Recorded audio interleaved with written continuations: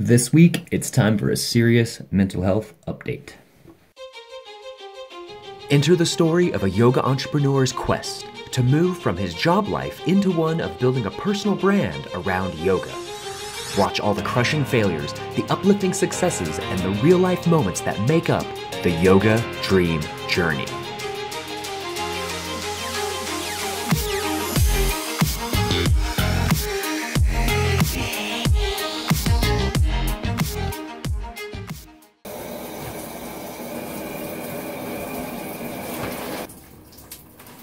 Uh, quick little update here. This week, I, uh, well, I took my roommate to the airport.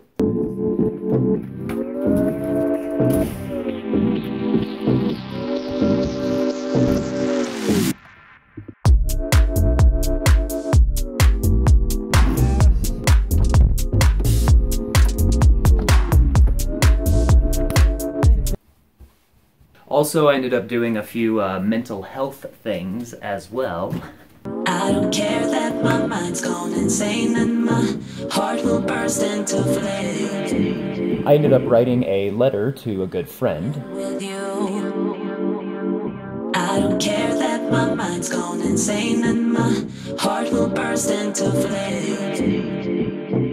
I don't care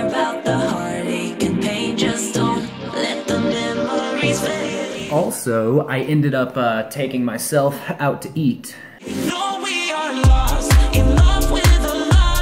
Also this week I've worked a whole bunch here at the studio. I've been teaching uh, extra class.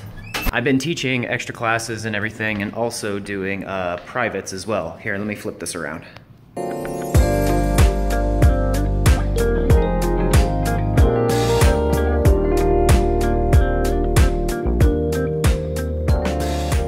Because of all that, I didn't really make a new yoga video this week, but I did do a really big Instagram marketing push. That boosted my numbers by like 200, 250 followers, which is really, really great.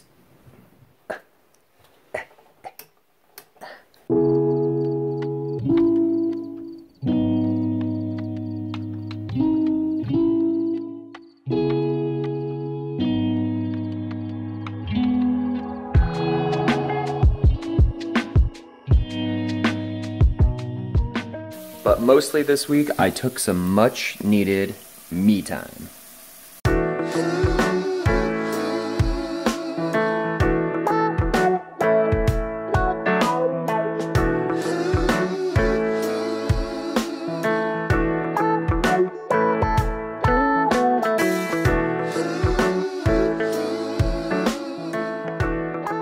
Stay tuned for the numbers. They are coming at you. See you guys next time.